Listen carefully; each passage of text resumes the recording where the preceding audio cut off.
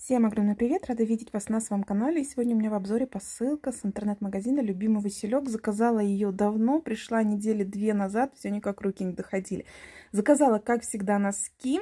Классные носки, удобные. Мне нравится, что идут они набором по 5 штук. Не нужно поштучно покупать. Они очень удобные, они мягкие, они тянутся. В общем, и цена достаточно приятная, поэтому не вижу смысла не заказывать. И вот еще один набор. Я люблю носки короткие, поэтому беру их. Видите, одни немножко подлиннее, а другие совсем коротенькие. Под кроссовки просто идеально, их не видно.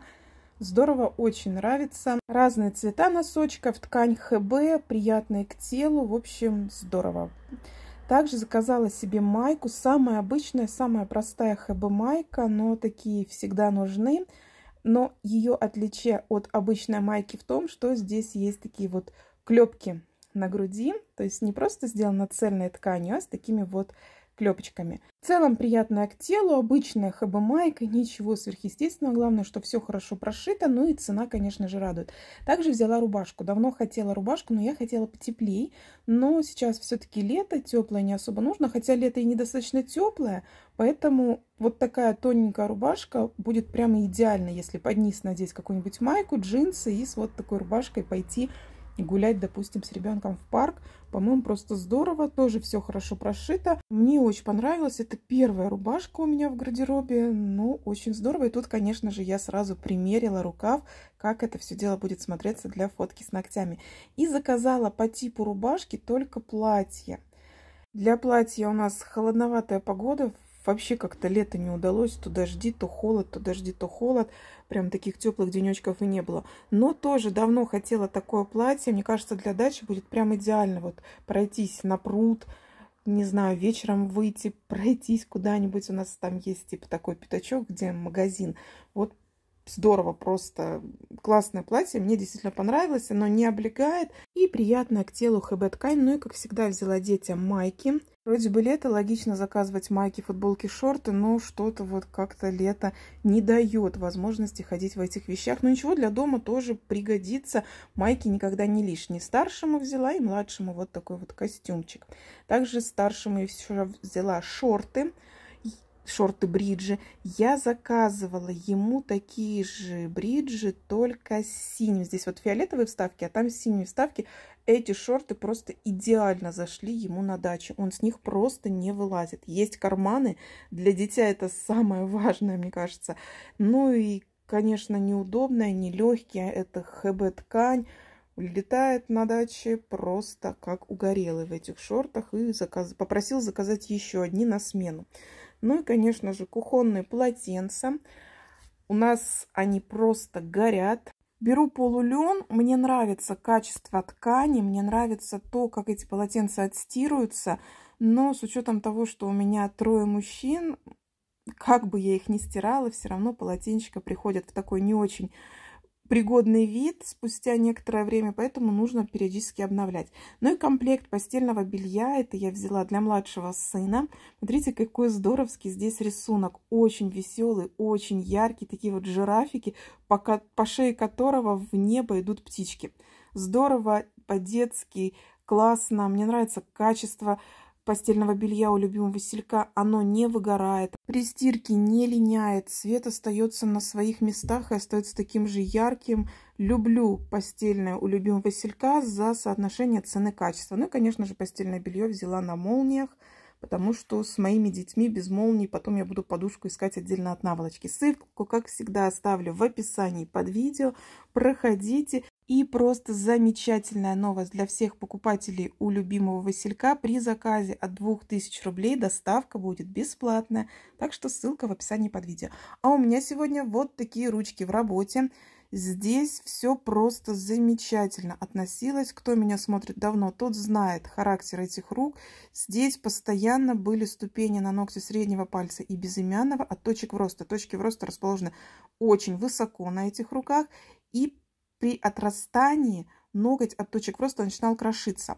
Есть небольшой косячок на ногте указательного пальца – но вот там, где были постоянные проблемы, где были постоянные большие ступени от точек роста, это, повторюсь, ноготь среднего пальца и безымянного вот на правой руке, который я сейчас обрабатываю, там все замечательно. Я даже не верю своим глазам. И, по-моему, это уже не первая коррекция, когда клиентка приходит с целыми боковыми сторонами. Это, по-моему, даже уже третья подряд коррекция, когда у нее все хорошо на тех ногтях. Фу-фу-фу, сплюнем. Надеюсь, эта тенденция будет продолжаться. Ну, а я заметила метод работы, метод накладывания материала, с которым здесь все хорошо носится. И чуть дальше я покажу и буду стараться и дальше придерживаться этого метода именно на этих руках.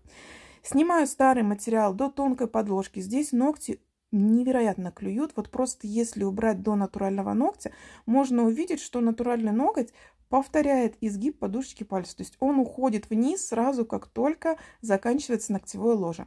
Вот я сейчас снимаю на ногти среднего пальца материал, и видно целую боковую сторону от точки в роста. Я просто не верю своим глазам. Поэтому при снятии старого материала я оставляю верхнюю линию ровно, то есть когда я на ноготь смотрю сбоку, у меня будет ровный ноготочек. С торца, естественно, при таком снятии открывается толщина, потому что на торце я не убираю материал в ноль. Но эту толщину потом уберу снизу фрезой. Придаю форму свободному краю, овалом и также прохожу пилочкой по поверхности, убираю глянец, отросшие части ногтевой пластины. Это самый важный этап в борьбе с отслойками от кутикулы. Ну, не самый-самый важный этап, это, конечно же, уборка всего птеригия. А вот второй по важности этап – это уборка глянца с отросшей части ногтевой пластины, потому что этот глянец не даст базе сцепиться с, с натуральным ногтем. Далее выполняю маникюр, выполняю его по тальку. Клиентка пришла с влажными ручками, не знаю. Что... В общем, есть вот руки, допустим, у этой клиентки. Раз приходит все нормально, сухая кутикула, а раз прям такая влажноватая, кожа как резиновая немножко. Вот когда второй вариант с ней случается, не знаю, что там происходит, то ли руки кремом она мажет перед приходом ко мне, то ли что там происходит.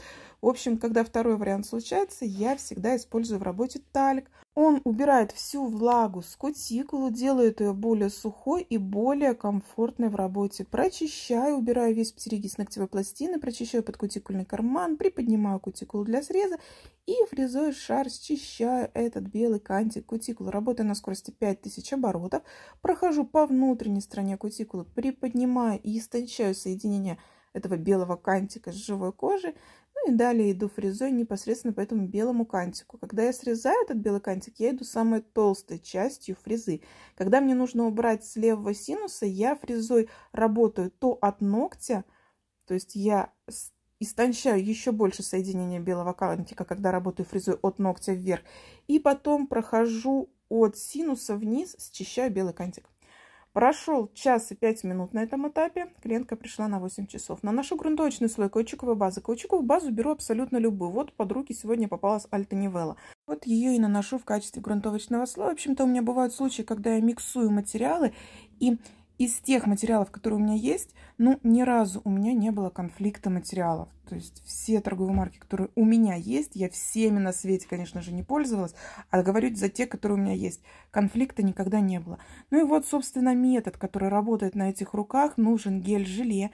Этим гелем-желе я закрываю весь свободный край. От одной точки в роста до второй точки в роста я наношу гель-желе вот такой вот колбаской и закрываю свободный край, создаю по сути такую вот ступень. На ногти указательного пальца я наносила в два слоя, потому что там получилась небольшая ступенька от точки в роста, не хватало боковой параллели, я ее достроила а достраивала в два слоя, так как достаточно много не хватало места. А на остальных ногтях просто в один слой вот такой вот колбаской я выстраиваю бортик по линии всего свободного края. Тут клиентка сначала выбрала вот такой вот гель от Bloom. Мне, кстати, он очень нравится, очень красивый, бирюзовый. Здесь такие и белые есть блесточки, и черные, и синие. Смотрится очень интересно, но после того, как я нанесла на ноготь, клиентка его не захотела. Ей как-то она его не поняла. Вроде блестки не блестки, есть и крупные какие-то частички. В общем, ей не понравилось, и я все это дело, конечно же, убрала. Хорошо, что она это сказала до того, как я не отправила руку в лампу. Взяла обычный гель, выбрала розовый оттенок, темно-розовый от Космопрофи, и делаю укрепляющий слой. Наношу капельку материала и распределяю ее к свободному краю. Только на свободном крае у меня теперь не тонким слоем, не в ноль я свожу материал, а заполняю вот это вот пространство от ступени и выравниваю гель, делаю ровную поверхность. Получается, что на торце у меня толстенький слой геля лежит, и за счет этого, помимо укрепления торцевой линии, мы еще и получили небольшое поднятие клюющих кончиков. Для этих рук это очень важно, так как ногти здесь прям таки уходят вниз, я об этом уже говорила. Ногти готовы, достаточно ровненько все получилось, но нужен опил, как ни крути. Убираю липкий слой и пилочкой опиливаю, выравниваю форму по торцу и обязательно прохожу пилкой по поверхности. Все-таки кое-где может быть какие-то ямки или какие-то бугорочки. Их нужно убрать, чтобы ногти в целом были ровненькими и красивенькими. Прохожу от одной стороны к другой, опиливаю ноготь как трубочку. Здесь все стандартно. Ну и обязательно убираю всю толщину с внутренней стороны. Она здесь будет и после снятия старого материала остается толщина. И плюс еще вот эта вот колбаска тоже дала толщину. Все нужно выровнять и сделать ноготь тоненьким, потому что в жизни с толстыми торцами не очень-то удобно и жить. То мелочь не возьмешь, то еще что-то с тонкими намного удобнее. Поэтому и с эстетической стороны, и со стороны удобства тонкие торцы выигрывают. Нанесла голубой цвет и далее на голубой цвет наношу блестки. Здесь прозрачной основе мелкие голубые блесточки в тон основному цвету. Перекрываю все ногти топом Луи Филипп. Я его на тест сейчас взяла и активно тестирую. Писали мне в Телеграм, что этот топ замечательно носится. Вот и проверим, потому что это сложные руки. Помимо того, что здесь ногтевая пластина сложная, так еще и в жизни клиентка достаточно активно работает руками. Посмотрим, как относится топ. Вот такая работа получилась. Напоминаю, ссылка на любимый Василек в описании под видео. От 2000 рублей доставка бесплатная. А у нас вот такие ногти получились. Надеюсь, этот метод будет работать и дальше на этих руках. Если же нет, то НЗ у нас остается гелевые типсы. Так что варианты еще есть для благополучной носки покрытия на этих руках. Если вам было со мной интересно, обязательно ставьте лайк. А у меня на сегодня все. Всего доброго, хорошего дня!